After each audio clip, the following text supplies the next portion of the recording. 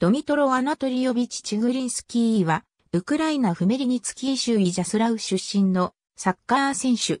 エック・アテネ所属。ポジションは DF。地元の FC カルパティリビューでプレーしていたが、14歳の時にウクライナの名門である FC シャフタールドネツクの下部組織へ移籍。2003から04シーズンにトップチームデビューを果たす。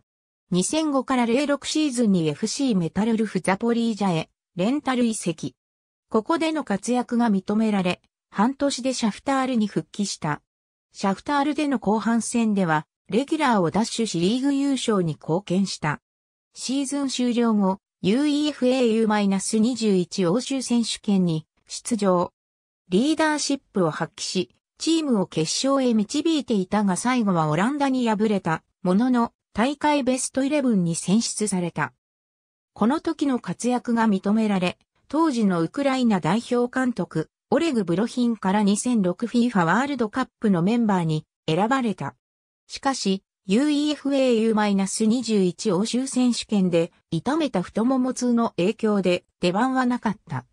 2006から07シーズンは不動のレギュラーの座を獲得し、若干20歳にしてキャプテンに昇進した。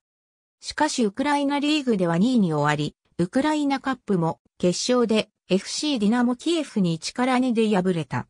翌2007から08シーズンにはウクライナリーグとウクライナカップの2冠を獲得し、カップ決勝の最優秀選手にも輝いている。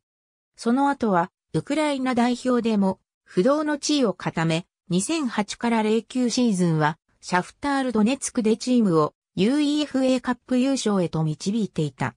2009年8月、リーガエスパニョーラ FC バルセロナに移籍。移籍金は2500万ユーロの5年契約とされている。移籍の直前に UEFA スーパーカップでシャフタールの選手としてバルセロナ戦に出場。これが同選手のシャフタール最後の試合となった。しかしバルセロナでは怪我などもあり、ジョゼップ・グアルディオラ監督の信頼は得られなかった。2010年7月、加入後、約1年でシャフタールへ復帰。移籍金は約1500万ユーロとされている。ありがとうございます。